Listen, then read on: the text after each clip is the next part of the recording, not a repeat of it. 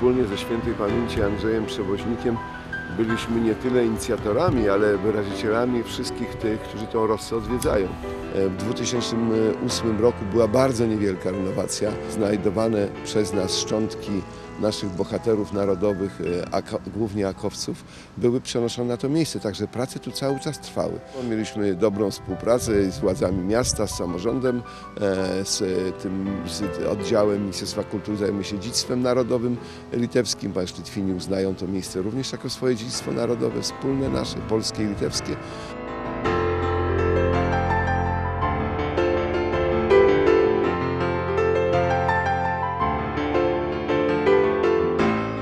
Udało nam się również e, zdobyć środki finansowe dzięki aktualnemu sekretarzowi generalnemu panu profesorowi Kunertowi.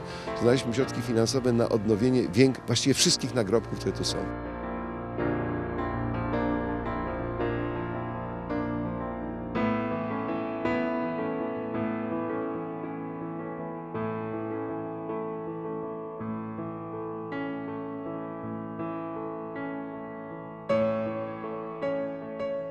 Do 11 listopada będą postawione latarnie, także teren będzie oświetlony cały czas, o co żeśmy od lat zabiegali.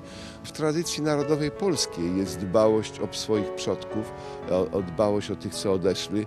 Nie tylko e, rodziny, najbliższych osób, ale również tych, którzy byli i naszymi bohaterami, a także tych bezimiennych często ludzi, których rodziny, jak na przykład z Litwy, dawno już wyjechały, a takich miejsc jest na Litwie bardzo, bardzo dużo i cieszę się, że ta akcja trwa.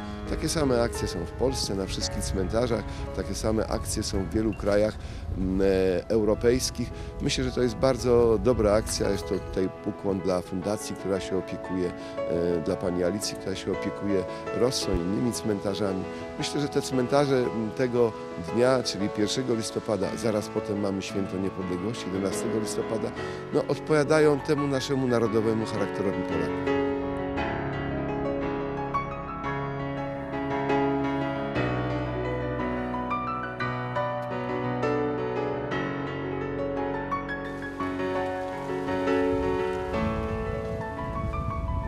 Udaje nam się w miarę pozyskiwania środków finansowych wspólnie ze Związkiem Polaków na Litwie porządkować te miejsca, przywracać im dawny wygląd lub w ogóle restaurować na nowo. Pamięć zmarłych chyba świadczy o, o, o takim poczuciu nie tylko narodu, ale poczuciu przynależności do wspólnego ludzkiego plemienia.